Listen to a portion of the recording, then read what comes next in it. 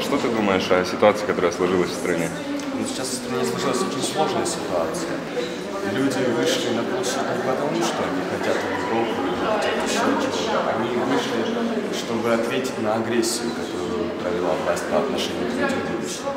Именно поэтому сейчас в стране реально возможна революция.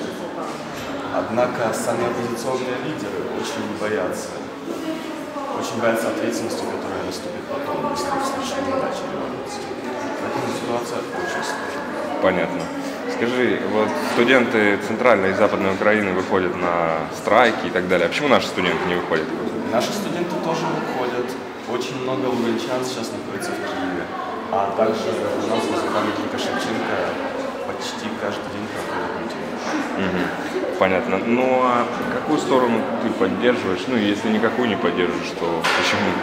Ну, как ты думаешь, что, что лучше, интеграция с Евросоюзом или все-таки таможенный союз? Я считаю, что лучше все-таки интеграция с Евросоюзом, так как это более выбор цивилизационный и выбор будущего.